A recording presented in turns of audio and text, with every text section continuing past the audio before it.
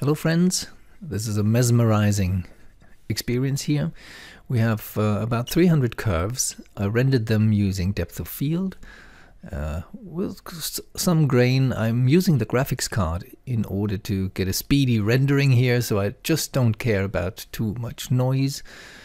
What you should keep in mind is what the curves do. The curves are not only as a whole moving up and down and sideways, but they also change their shape internally.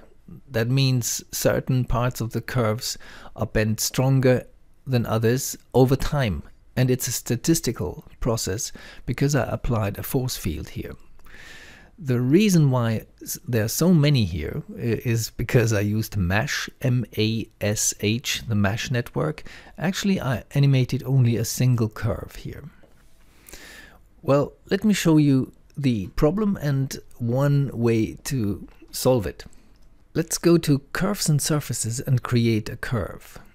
And uh, I'm in the perspective view and I show you a way to actually when I create that curve now with three clicks, for example, it lies flat on the ground and I would have to modify it in order to get it kind of stick out a little bit in, in space here.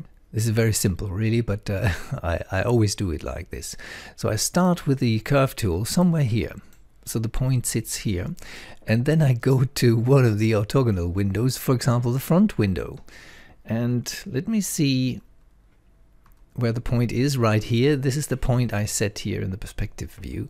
And now in the front Z window, I place the second point here. And then this is the first, where's the first one? This is the first one and this is the second one in the side window. And I just um, place it here and then I go to the top window and I place it here and press enter. So that's the curve I get now. Uh, with uh, Alt B, I get the different background color here. So this is a curve in space. Well, it was a curve in space in the first place, but lying flat on the ground. Okay, when I want to um, animate certain parts of that curve, I need to go to the components, right mouse click and uh, control vertices. And uh, this uh, curve has well, how many? About eight or so. When I move this one up and down, the shape of the curve changes, and I actually can animate that control vertex. That's a CV is the abbreviation for this. I can animate it in space, like it goes up and down or, and it wobbles around, but I have to do it manually with keyframes or with an expression. But uh, I cannot use a dynamic force here uh, in order to make it, well, rotate for, or whatever there are several ways to to go about it to solve that problem and uh, basically you need to help this CV and the others you might want to animate into the space of the object nodes. And currently you only see here in the outliner a curve but not that CV it's a part of this it's a component and components cannot be animated with force fields so there are several ways to go about it. And one way is this. I go to animation and to an almost ancient tool. It has been in Maya since version 1.0 and I know the guys who developed Maya in the first place, so in the beta version long ago. It's called Cluster and you find it under Deform. Here it is. Bend shape cluster delta mesh, mush and a tension, etc. Lattice, you could use several of these, but I'm using the cluster now. The cluster produces a small c, the letter C in the scene, and it appears here. This is the this is uh, the main reason I introduced that cluster because I'm now I'm doing the same thing here with that component, but now it's an object. Um, let me do this with another CV here again. So right mouse click control vertex and for example I can, well let me select this one here. Or actually the two ones at the at the end of that curve. Does that make sense? Yes it does. So I create under animation, deform another cluster. And this cluster now moves two CVs here And uh, I could actually rotate it, etc., which I couldn't do with components. So I have two clusters now, and they are objects in the object world. However, I cannot use a force field on them because they are not geometry. They're just abstract nodes, but at least they are nodes. Go to polygon modeling. Very simple structure is this box here. It's uh, geometrically simple. That means uh, it's uh, one of the most simple objects in Maya, really, and you can. It is a renderable object, although we won't need to render it.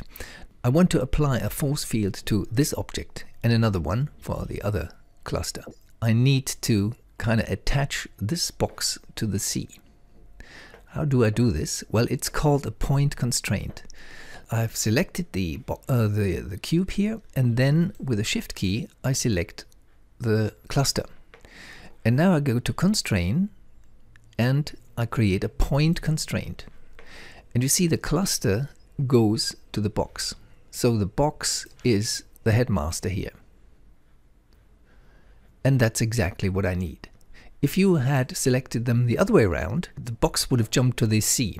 And, uh, but we want this to be high in the hierarchy uh, because we're going to add a turbulence or radial field to it.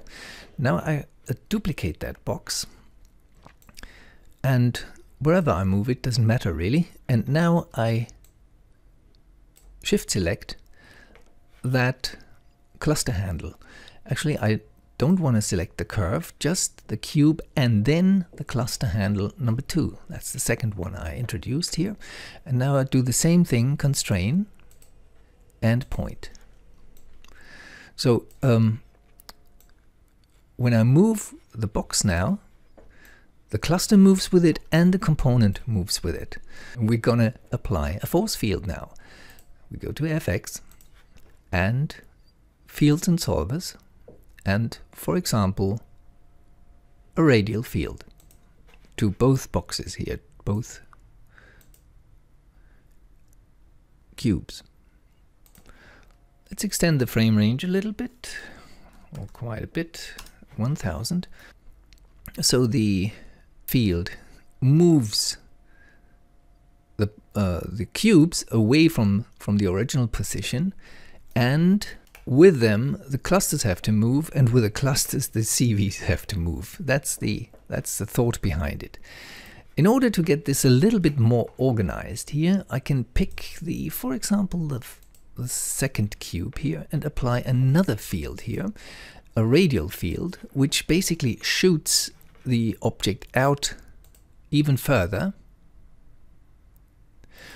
but I changed the magnitude to minus 18, just some kind of value, and you see how it wants to go back to the center, whereas the other one doesn't. So what I'll do with the other one, I apply a radial field as well, minus 1. So they keep closer to the very center. If you want to render the curves, you need to select the curve and go down to the Arnold settings. The Arnold section is right here. Just close it and open it. Just click on render curve. Of course, you need a light. So, for example, sky dome light. And uh, I don't want to see it white in the scene. I just want to have a black background. This is this visibility camera setting here between 1 and 0. It affects the background rendering. Um, and now I render that curve. And uh, the curve is so thin that you barely see it uh, but you see the the boxes here the cubes and of course I can hide them. They're just my helpers here in this context. So let me get closer to that curve now by the way when you uh, select it and press the key 3 it looks rounder actually it looks the way Arnold is going to render it here is the curve and uh, we need it, I think, thicker. So the curve width here, 0.09 for example. So it doesn't doesn't change here because it's infinitely thin, but now you can see it rendered. And uh, in order to get many of them, uh, you just um, select them and create a MASH network. Under FX is MASH, and create MASH network, you need the, need the option box here because you need to select the instancer. The default settings are mesh. It needs a mesh and the curve is no mesh.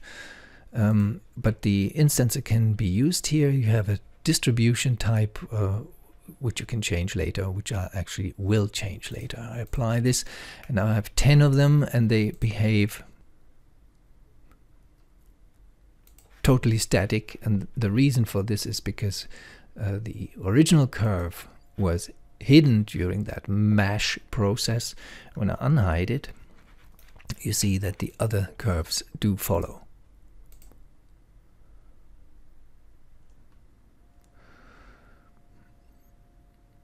Of course, you can change the force fields later on. When you go to the MASH node, you can apply a signal node here, signal, add signal node which makes them the whole curves signal around like this, up and down, left and right. Lots of um, settings are possible here. The noise scale much faster and much slower. So this affects the whole curve. And uh, if you think you don't have enough of them, go to the distribute node, uh, try a grid distribution here. In order to appreciate that distribution, let's go to the beginning here. You see here more or less a grid. Uh, grid Y goes up like this, and grid Z goes into the Z direction. And I think this is pretty crazy. And uh, look at this uh, on my pretty old machine here. It animates in real time. Well, with this, I leave you alone. Just keep in mind the components cannot be used in connection with force fields, so you need an intermediate object, which is the cluster or a lattice a deformer. Actually, it does not deform, it just helps us deform, and then you point constrain the it to the cube or a simple geometry which you later can hide, which is affected by the force field. Bye-bye.